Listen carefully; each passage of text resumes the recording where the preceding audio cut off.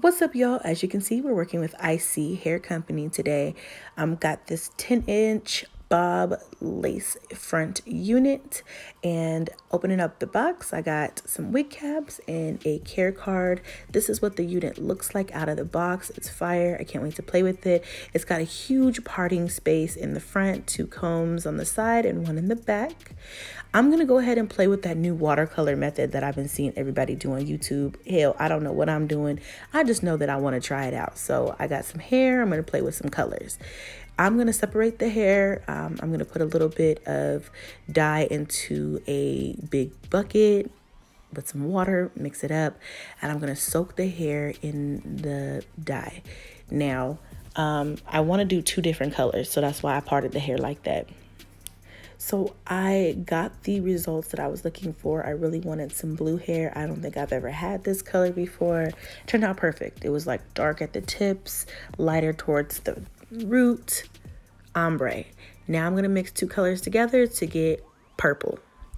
All right, now I definitely have not had purple hair like in a unit before. So I'm just to dip it in. And basically I'm just dipping it in a little bit, trying to keep the pieces separated and kind of like letting it soak for about five minutes each time.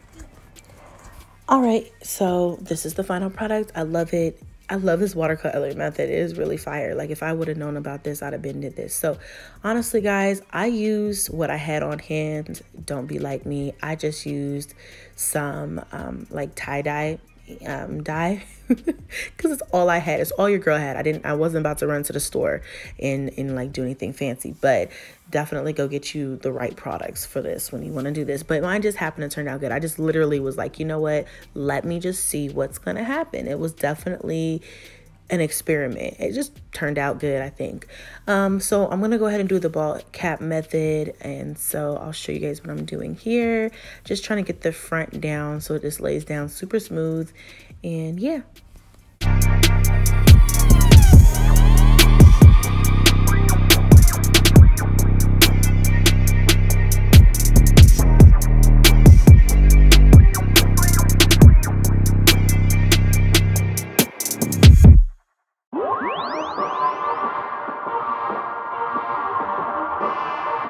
All right, y'all. So on this part, I'm cutting down the actual cap back to my hairline. Now, my goal was to cut it back to where I didn't have much cap at all.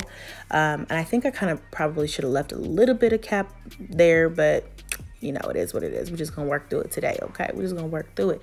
I'm to add my Got2b Glued just in the front um, and a little bit of freeze blasting spray. I'm gonna go ahead and get this bad boy down and tack down the middle first and then we'll go ahead and work on the one side and the other side. I've learned that when I do it like this, instead of trying to do it all at once, it helps the wig stay on better. Um, so I've learned from watching videos and stuff on YouTube that you should do the middle first or pick a side and um, start there and then work your way around. So that's what I'm doing here. I'm just kind of using my blow dryer to help let that dry faster, pulling back pieces that are kind of getting stuck to my skin and stuck to each other because I want it to look very natural.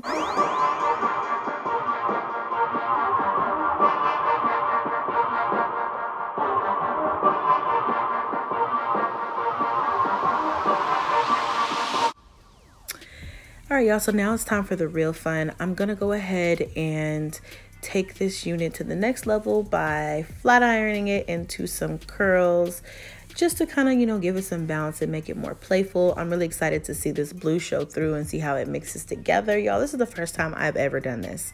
I've never done this. I've never done like watercolor dyeing. I've never, this is my first time. So I'm really excited. I just want to get there to the finish the final product and see what it looks like. I'm getting like bubblegum vibes. I'm getting like you know, I don't know, unicorn vibes. Like I just I'm I'm loving it. I'm just loving it, y'all. I'm just having fun and just playing around. And that's what hair is supposed to do. It's supposed to be playful and fun. All right, y'all, so this is the finished product.